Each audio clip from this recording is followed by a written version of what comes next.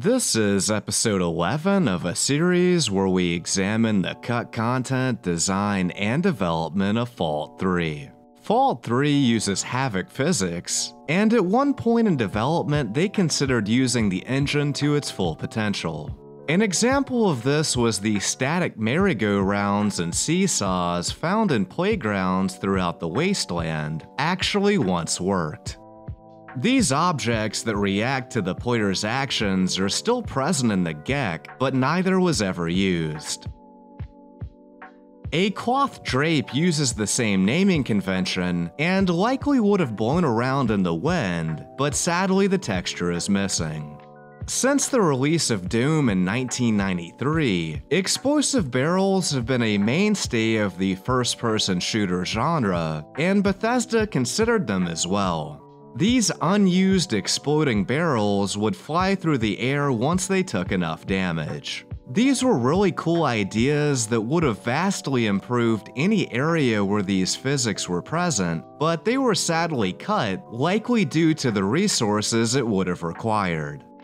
Crippled limbs are healed via the Pip-Boy menu, but originally there was an entire surgery minigame that would have been affected by the player's medicine skill. There are still leftover unused textures, sounds, and game settings intended for this. When the player entered or left the surgery menu, unique sounds played, but both of these were sadly deleted. During the minigame, the player apparently cauterized their wounds and screamed out in pain. It's unknown exactly how it would have functioned, but it seems the player character would have been rendered on screen, as there's three meshes for the male player character heavy pain, mild pain, and no pain, depending on how well the player did.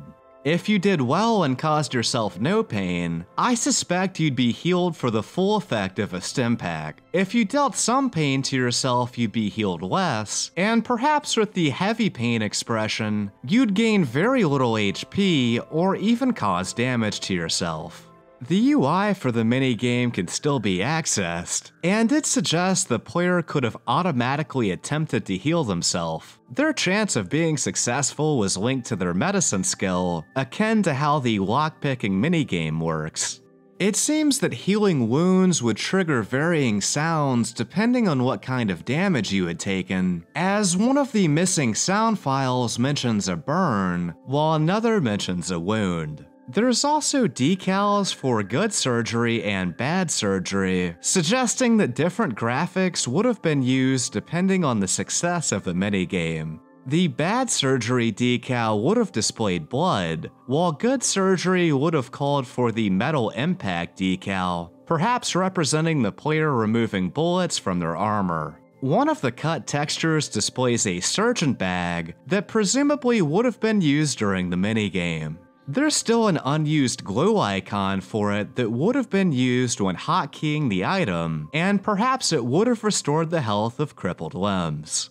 There's also two sounds for using Med-X during the minigame, still called Morphine back from before its name was altered to avoid the game being banned in Australia.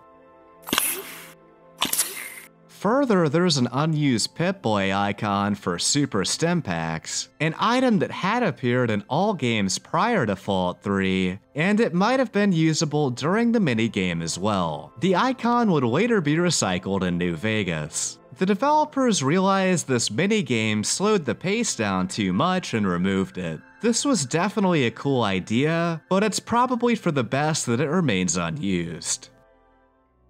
In the classic games, actions like moving or using specific weapons while in combat cost action points, which only regenerated after the start of your next turn. Tactics featured a real-time combat mode option, where all characters took their turn simultaneously and AP regenerated over time. Intriguingly, it seems that Bethesda considered something similar. There are still unused game settings that reveal that action points were once reduced anytime the player did just about anything. This ranged from running, jumping, reloading, crouching, standing up, equipping or switching weapons, attacking, healing yourself, throwing weapons, dropping items from your inventory, etc. and presumably this would have functioned similarly to stamina in Oblivion. Just about the only action that didn't cost AP was walking. On one hand, this would have been a great homage to the classic games, but for the sake of not making the agility stat totally overpowered, it was probably for the best it was cut. In the final game, AP is only used during VATS, which is still a nice tip of the hat to the turn-based systems of old. VATS, or Vault-Tec Assisted Targeting System, also went through some notable changes in development, as a section of the Collector's Edition guide mentions. The original inspiration, oddly enough, was the game Burnout, where it often showed very cinematic playbacks of your car crashing in fantastic ways. We said, let's do that, but with body parts. We weren't sure if it was going to be like a Max Payne style bullet time, or a Knights of the Old Republic style list of moves, but we knew how the result should look. So we started backward, with how the end result would look, and then backed into the interface and the pure gameplay of it. VATS went through a number of changes, and we toyed around with a lot of things. There were times when we weren't sure of its identity, if it should be more powerful than real-time combat. Initially, all actions in real-time also drained AP from running to shooting. This led to nobody ever shooting in real time, as it simply further delayed you to use VATS, so we took it out. At one point, you could also target exploitable objects in VATS, like mines and vehicles, but it made the interface really clumsy as you cycled through all these fake targets to select the actual enemies. I also had many people argue with me about letting the player move around in VATS, like spending AP to duck and such, but I kept wanting VATS to be something that the player could get in and out of quickly, and felt that would bog it down. We also toyed with the numbers a lot, from what it means to hit to how fast cameras move as these actually affect how powerful the system is, since the player is often animating faster than the world in the playback. We eventually settled on what happens when limbs got crippled, as well as upping the chance for critical strikes and VATS, just enough to make it feel more powerful. The last thing was VATS Melee, which went through several iterations, from targeting body parts to missing, to chances for power attacks and more. Nothing seemed to work for us, and it finally came down to trying, always hit full body attacks, or taking it out altogether, because all previous systems were no fun. When we finally played it with full body hits, we really loved it, and to think it almost got cut from the game. There's so much to take away from this quote. Being able to target explosive cars, mines, and the cut barrels we talked about earlier would have been a great cinematic inclusion, even if it slowed combat down a bit. Having the option to spend AP to move or duck could have led to some great tactical decisions, while the ability to target individual body parts while using close-range weapons and VATS and the addition of power attacks would have been really cool for melee builds. This is yet another example of how Fallout 3 is a love letter to the classic games, and while it's too bad so much was cut out, at least the entire system wasn't scrapped. One of the most drastic improvements that New Vegas made over its predecessor was the addition of iron sights. However, the ability to aim down sights was considered early in Fallout 3's development. The aiming animations all use the IS suffix, which is seemingly shorthand for iron sights. Many of the weapons depict evidence of thought being put into the sights actually working as well. At some point, they decided to cut this for an unknown reason, leaving us with the janky first-person zoom-in animations that are used in the final game. There's an unused hotkey icon for handwear. It seems the gloves were once a separate equipment icon, similar to the way they appear in Oblivion. This could have led to some great character outfits, but in the final game handwear can't be equipped independently, and is always a part of other armor sets.